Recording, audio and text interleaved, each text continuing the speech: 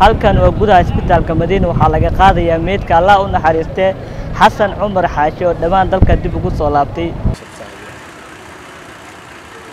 qarax miin oo lagula eegtay degmada dharkeelle xaafadda macmacaanka ayuu u geeriyooday xasan cumar. Dhowaan ayuuna dalka dib ugu soo laabtay isagoo wakhtigiisa ugu badan ku soo qaatay xabsi ku yaalla dalka talyaaniga kadib markii lagu eedeeyey inuu qayb ka ahaa dilka wariyaal ajaaniib ahaa ee ku sugnaa magaalada muqdisho sannadii kun sagaal boqol sagaashiyo labadii taasna ay sababtay inuu ku xirnaado xabsiga muddo ku sima sagaal iyo toban sana sida uu inoo sheegay walaalkiisa oo ka warbixiyey qaraxa maanta lala eegtay xasan cumar waxaan wada dhalanay marxuumka meeshaan ku geeriyooday allah u naxariisto walaalkay xaashi cumar xasan. Xaashi cumar xasan wuxuu ahaa nin iska shacab ah dadkiisa isaga dhex jiro. Nin intaasoo sana haddana waddan shisheeye ku xirnaa ku dhibaatooday dhib badan soo maray. Kabacdi u imaaday dadkiisa iyo hooyadiis walaalihiis inuu mataqaanaa wakhti la qaato si uu ku iloowo dhibaatadii mataqaanaa lagu sameeyey. Marka maantana ilaahay amarkiis gacan ka xaq daranaad dishay marka ninkaas baabuurkiisa kolley waxaa loogu xiray miino. Dadka qaar waxay ku leeyihiin jidkay taallay markaasay ku soo booday. Qoobba siday ku leeyihiin laakiin meeshaan waxaan ka caddaynaynaa xaashi cumar xasan aan shacab ahaa nin siyaasad aan shaqo ku lahayn weligii siyaasad aan waxba ka raadinin siyaasad ma gelin. Marka arrintaas meel hadda aan ku tuhmayno aan dhahaynana ma jirto ninkaas meeshaas mataqaanaa tuhunkaasaa jiro.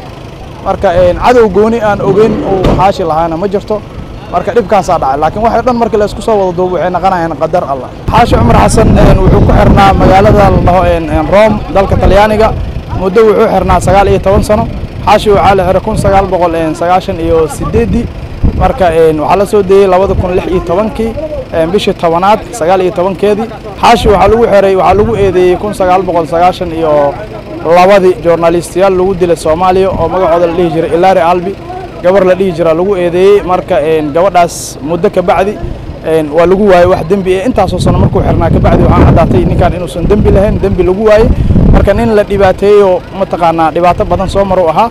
Marka maantana kolley gacan bini aadan uu sababsaday marka allah u naxariisto wallahi ninkaas horta nin la soo dhibaateeyey oo muddo dhibaataysan oo ahaa. Marka dowladdii markii la sii deeyey xabsiga laga sii deeyey kadib magdho waa loo ogolaaday magdho waa la siiyey. Marka nin mataqaanaa dembi lagu waayo wuxuu ahaa kolley la soo dayey taas ani kama hadli kara hadda ma xaqiijin karo laakiin xaqiiqda xaqiiqda dhabta waxay tahay kolley magdhowgaas la siiyey darteed in loo dhibaateeyey iyo mataqaanaa ay dadka saasay leeyihiin laakiin uma malaynaayo waxaas magdhow iyo wax saameyn inay ku leedahay. Iyo qofkan waa la dhibaateeyey maadaama la dhibaateeyey kolley dowladdii xertay oo intaas sano uu xirnaa dowladdaasaa haddana mataqaanaa maxkamaddii saartay oo sii daysay marka wax quseeya ma ahan magdhow iyo wax lamida wax quseeya ma may may may may may may may. Ninka hadda aniga si hoos isugu dhaweyn oo walaalkeena ahaa wax dhibaatay ama wax hanjabaad ama wax culeys oo gooni uu jiro ma jirto.